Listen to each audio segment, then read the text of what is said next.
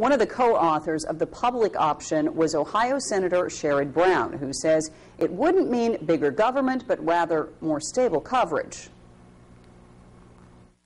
People needed reassurance that this public option won't put the insurance companies out of business. And I, I, we wrote it in a way that it will not put them out of business. I, I want insurance companies to compete. I want them to get better. I want them to no longer game the system by excluding people for pre-existing condition and discriminating against people because of age or gender or geography or disability.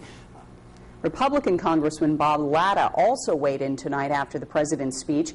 He said, in part, many concerns still linger about the legislation itself, with a final price tag of over $1 trillion financed with tax hikes and fees, no guarantee that people will be able to keep their current coverage if they are satisfied, and an unprecedented expansion of federal government. The bill before the House will do more harm than good to our current health care system. Latta also said he hopes the president's call for bipartisan negotiations is taken seriously.